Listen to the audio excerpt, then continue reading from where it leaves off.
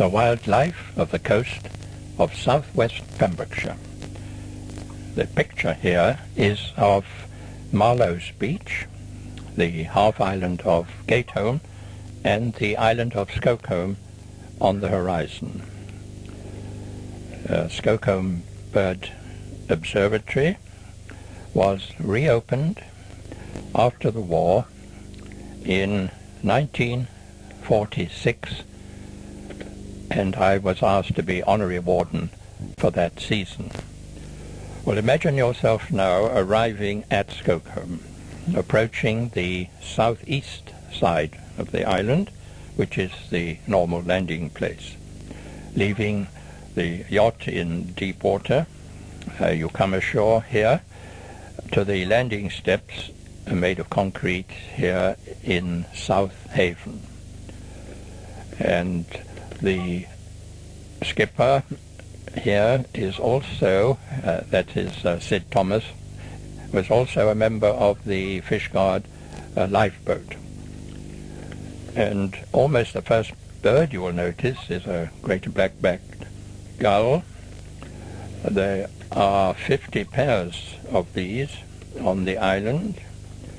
They are scavengers and they will rob the nests of the eggs and young of many other species. And then there are herring gulls, and watch the clever way they balance in the air, resting on up currents of wind up the cliffs, carefully adjusting wing and tail feathers, and sometimes chasing each other about.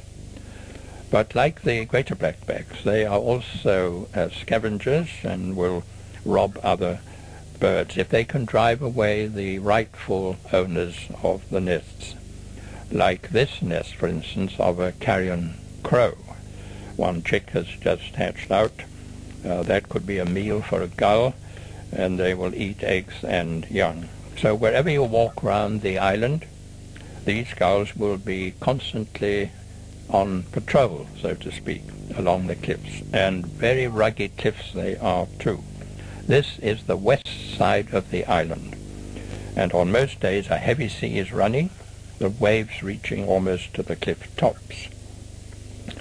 The herring gulls approach the island in March. They settle down here for the summer and make a nest on the cliffs and rear three young. Near the top of the picture, in a moment, you will see a ledge of uh, guillemots, and uh, it is up there at the top there, and the waves just miss these ledges. The birds seem to know exactly where it is safe for them to lay, uh, in the case of guillemot and razorbill, only one egg. And the ledge may only be only a, a foot or two wide, and often less than that. Uh, just up here, uh, you could look down on that ledge uh, in a moment, and a, a, a guillemot,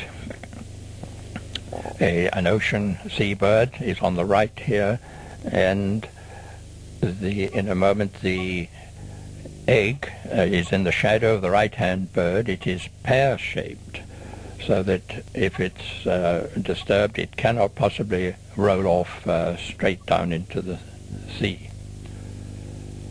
And then, of course, there are puffins. And you may not know that uh, puffin likes to look at you with one eye, and then with the other eye, and then with the first one, and so on, uh, rather uh, than with both eyes at at once. Then the razor bills, which are blacker than guillemot and and more sensible in their nesting uh, place choice, for they like to lay again their single egg uh, and rear the chick underneath these boulders and rocks on the cliff slopes, out of the way of those uh, scavenging gulls. There's one in the background now. But they have razor bills a conspicuous white line running from the eye right across the tip of the bill and distinguishing them easily from guillemots. The wing is short and used for swimming uh, underwater and steering, and of course the, the feet are, are webbed, and there are a few hundred pairs nesting all along these cliffs. But while you are wandering about, uh, watching everything on the west side, this is uh, taking the full force of the Atlantic here, uh, look out not only for sea birds, but also for sea flowers. And these sea pink, uh, you'll see them in colour a bit later on. Uh, there are clumps of sea pink or thrift, a very hardy plant uh, all along the coastline. And down below, in only in very sheltered places, you will find a rich growth of seaweed because the tides are too strong for them uh, in much of the island. Then go up to the freshwater pond on the top of the island. Here you may find small wading birds such as these dunlin on migration. They are on their way to the Yorkshire moors or to Scotland to nest and are feeding in an inch or two of shallow water at the edge of the pond. Now this is early May and they are in the full summer breeding dress. In the winter they lose that black patch uh, below and become much whiter and they pause on their journey to rest and feed and are remarkably tame.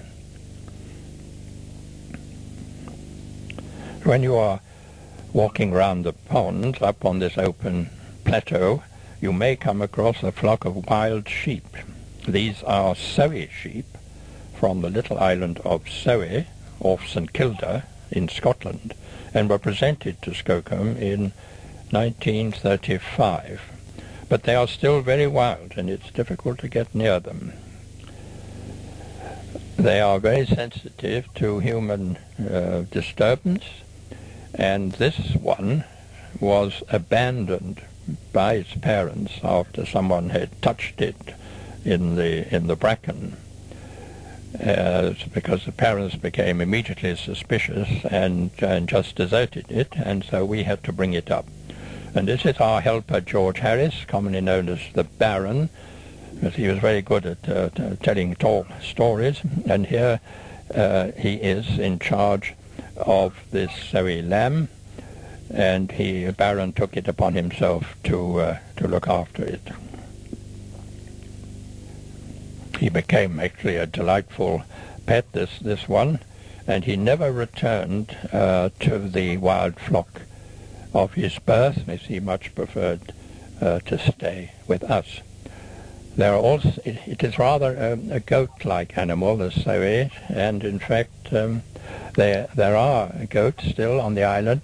The Lockleys had them before the war for milk. Uh, pretty strong stuff it was, I, I, remember.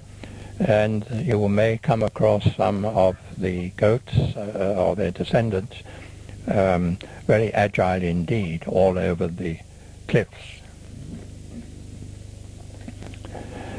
And now we go round to the North Haven, uh, and here are some of the observers uh, setting out to visit a buzzard's nest uh, sent down below. And we kept away from this nest for a long time to make sure that the young hatched out uh, safely without any disturbance.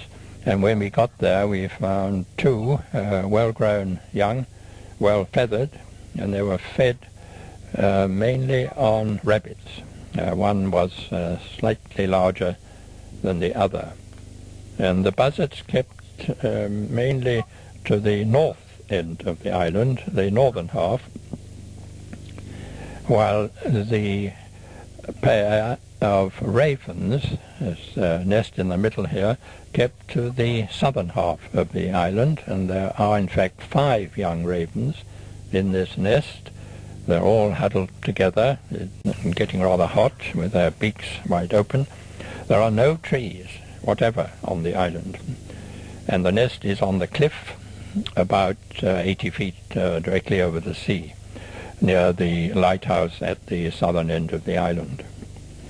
And near the top there's one of the observers here in the picture climbing down uh, on a rope and he's got some rings in his pocket and you will see how he puts them on the